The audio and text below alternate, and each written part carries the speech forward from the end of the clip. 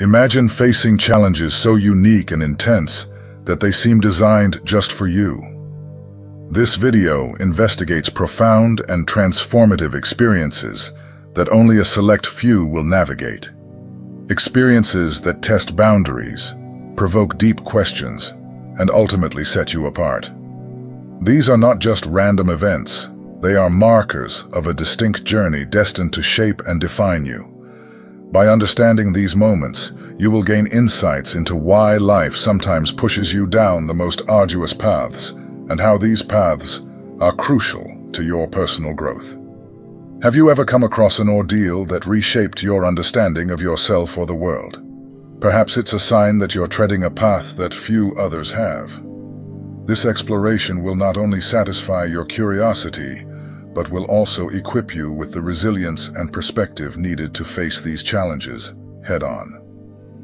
How do these experiences shape your character, and what can they teach you about your purpose in life?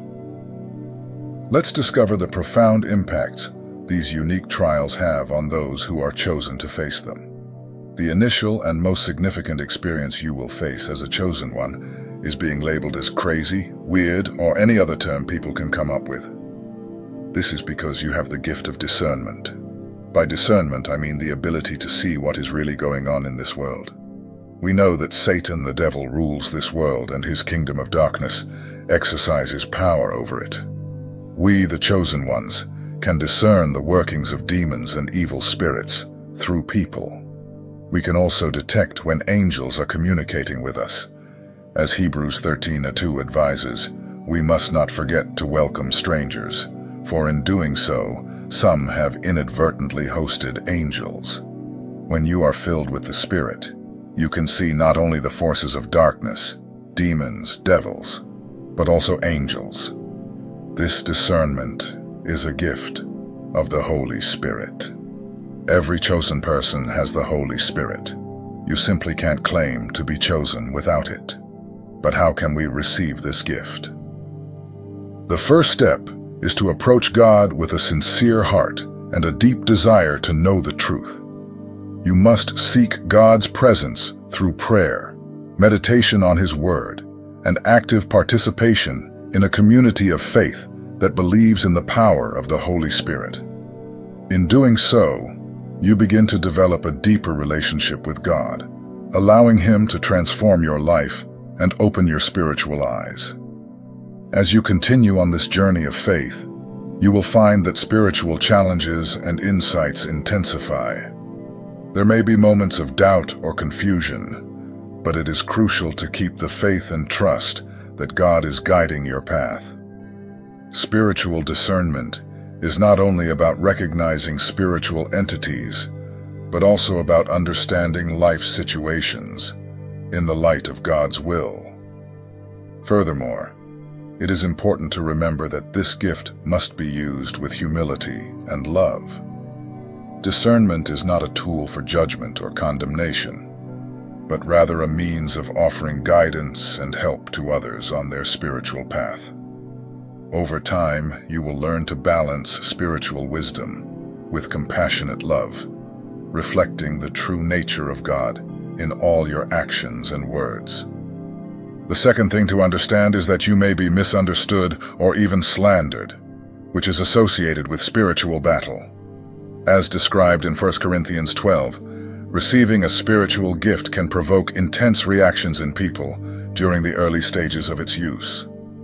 Some may feel threatened or embarrassed by your abilities, which are part of the demonic struggle to prevent you from achieving your mission. Be prepared to be mislabeled and misunderstood, a common battle among the chosen. Being a chosen one also means that you will often be rejected by the world. This is due not only to your own identity, but to the representation of who you are. As John 15, 18 to 21 points out, if the world rejects you, remember that Christ was the first to be rejected. However, there is a glimmer of hope. Other chosen people will approach you, creating sincere connections and relationships founded on spiritual kinship. These people follow the path of Christ and obey his commandments. However, it's crucial to remember that resistance doesn't only come from outside. Matthew 10:34-36 warns that sometimes the adversaries are within your own family. It may be that members of your family, those closest to you, don't understand your calling and unwittingly act as agents of the adversary. They may not understand the reason for their opposition, which may be rooted in their own spiritual battles or a simple reflection of their insecurities. Therefore, it is essential to develop resilience and understanding in relation to the reactions that your spiritual path can trigger in others, whether due to external challenges or internal family conflicts. Cultivating patience and empathy will be crucial to maintaining internal peace and strengthening your bonds, even in the face of misunderstanding or resistance. In addition, it is important to seek support in your spiritual community and among those who share your faith and purpose. These alliances provide encouragement and strength, allowing you to remain steadfast in your mission despite adversity. Remember that in the midst of difficulties, connecting with others who recognize and value your spiritual gifts can provide the support you need to overcome obstacles. The third relevant experience is that your spirit can cause disturbances in others. Have you ever wondered why some people seem to dislike you for no apparent reason, or why you provoke intense reactions without making an effort? This is because your aura, charged by the Holy Spirit, disturbs the demons that reside within them. Although some of this hostility may seem to be directed at you, it is often a reflection of these people's inner spiritual conflicts. Remember, these obstacles are elements of the path of one who is chosen. They exist to strengthen you and prepare you for your divine mission. As we explore these aspects, realize that your experiences are confirmations of your choice and of the Holy Spirit working through you. Know that, while carrying the Holy Spirit, His mere presence can trigger reactions in those who are guided by adverse spirits. Even living as purely as Christ, who fed the needy and helped the homeless, he still faced opposition. Christ, even without sin and with altruistic attitudes, was not free from hostility. Therefore, it is clear that his integrity does not exempt him from being targeted by individuals under the influence of evil forces. Therefore, it is important to understand that the presence of the Holy Spirit in your life can inadvertently reveal the true natures of other people around you. These negative reactions, although painful, are indications that you are walking the right path, aligned with divine and spiritual values that challenge the negative influences in the environment around you. As you face these adversities, strengthen yourself with the awareness that each challenge is an opportunity for growth and affirmation of your faith. It is not only a test of endurance, but also a chance to demonstrate the strength and peace that the Holy Spirit can offer in the midst of life's storms. View every opposition as a reflection of the spiritual battle taking place in the unseen, and stand firm in the knowledge that you are protected and guided by a greater force.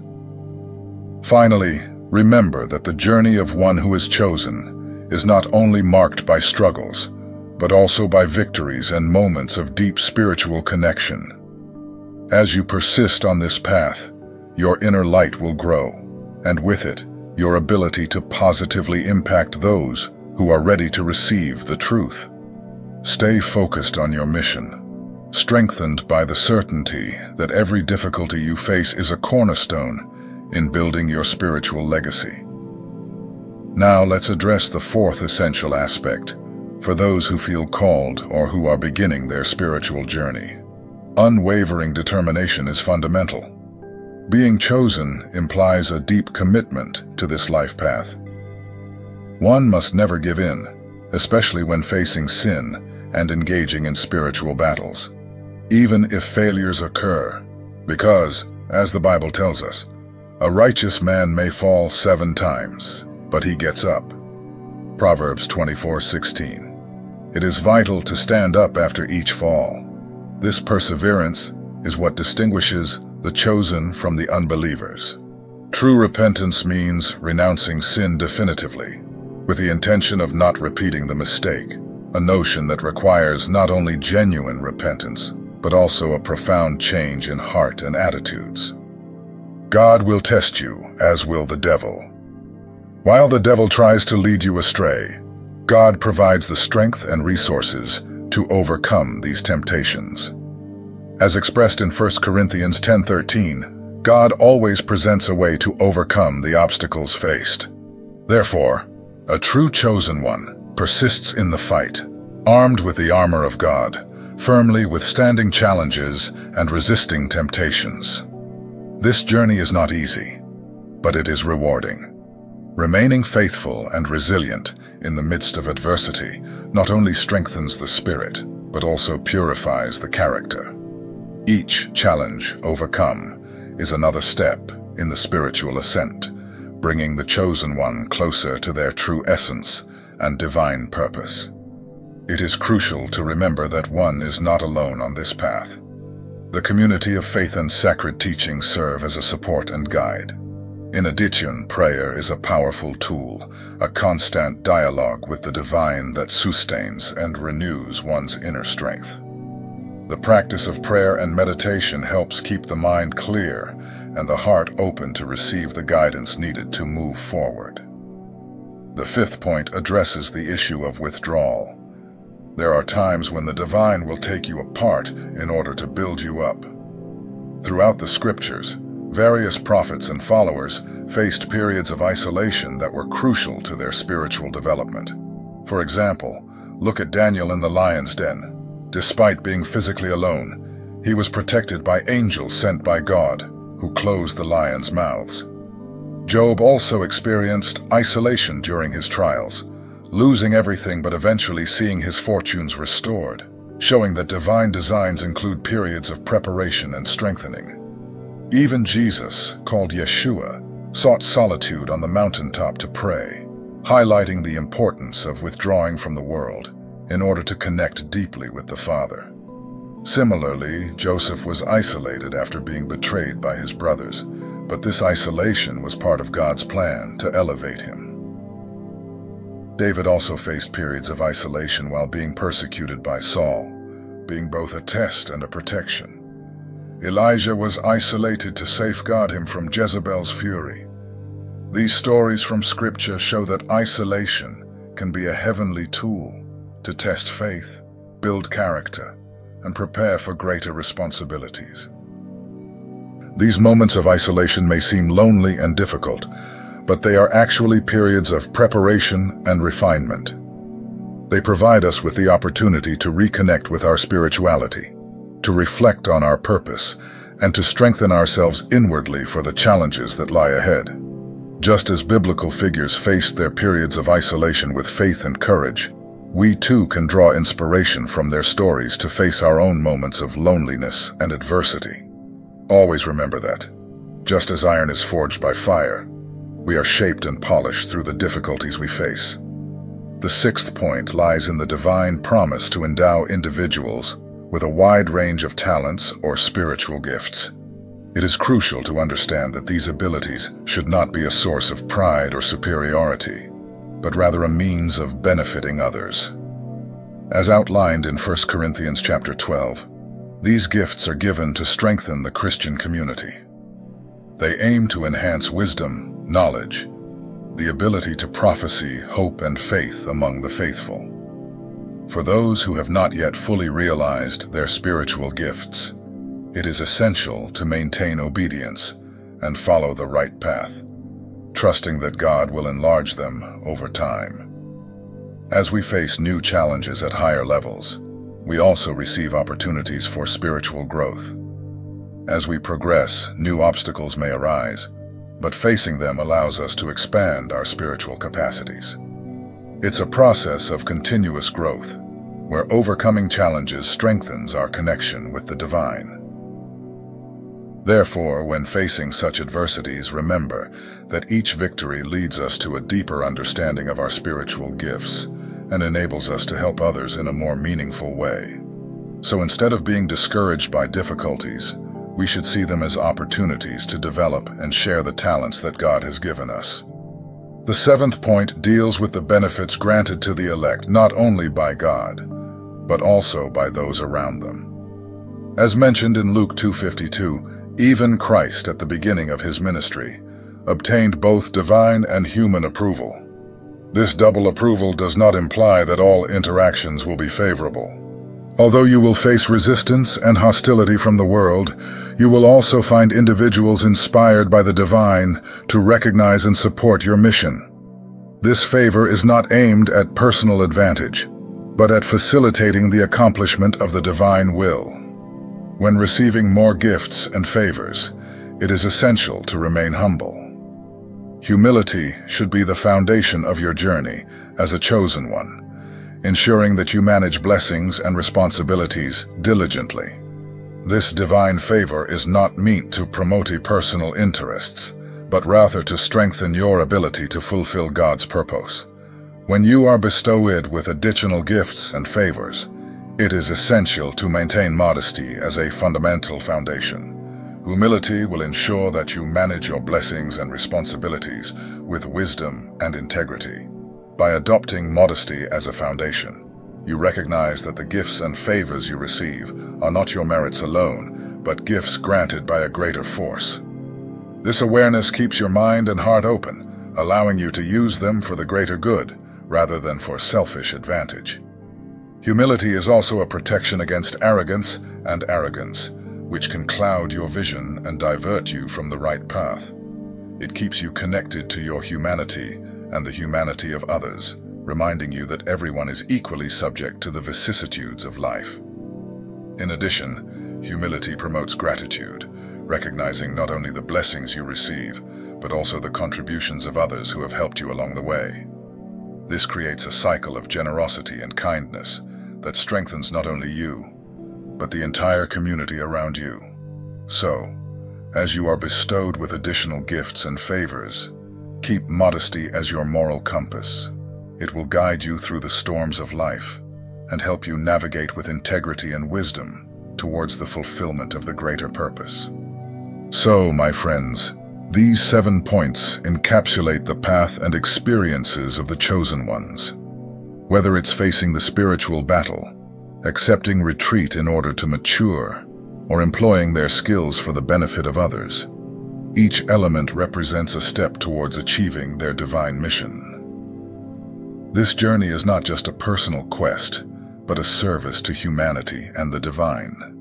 By committing themselves to this higher purpose, the chosen ones transcend their own limitations and become agents of transformation in a world that so desperately needs love, compassion, and wisdom. May they go forward with courage and determination, guided by the light that dwells in their hearts. If you have stories to tell or have felt God's help in a special way, I invite you to share them in the comments below. Let's keep talking and supporting each other on our spiritual journeys. Don't forget to like the video if it touches you and subscribe to see more content like this. Thank you very much for your support and participation. Peace and blessings to all, and remember, you are not alone on this journey.